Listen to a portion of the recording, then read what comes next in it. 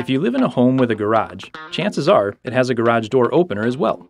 But the openers aren't designed to last forever, so when it's time to replace it, it's important to know what kind will work best for your needs. Thankfully, finding the right one isn't as hard as it might seem.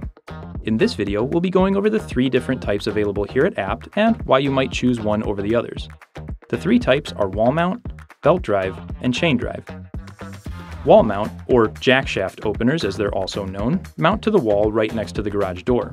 They're generally very quiet and don't cause as much vibration as belt or chain drive openers, making them perfect for a home with bedrooms that share a wall with the garage.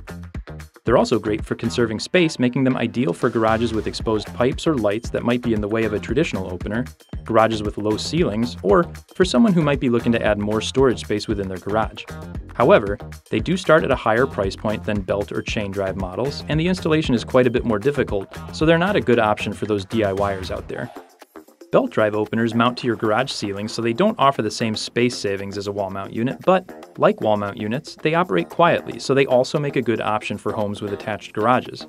They also lift the garage door more quickly than most chain drive models and don't require as much maintenance since they don't require regular lubrication. However, they don't have the same weight capacity as a chain drive opener and are also more expensive in most cases. Chain drive openers mount to the ceiling just like belt drive units. These are going to be the most durable of the opener types and can handle the heaviest door weights, ideal if you have a solid wood door. They can also be found at the most reasonable price points and tend to last the longest. However, chain drive models are the noisiest of the three, so if you have a bedroom that shares a wall with your garage, you will likely hear and feel the door when it's opening and closing.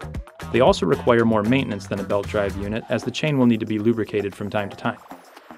The last thing to consider when choosing an opener is whether or not it has smart features built in. These can be extremely helpful as they allow you to operate the door with an app on your phone, this means if the door is mistakenly left open, you can close it right from your phone. Or, if someone needs to get into the garage and you're not home, you can open the door for them. You can also set timers for it to close automatically at night.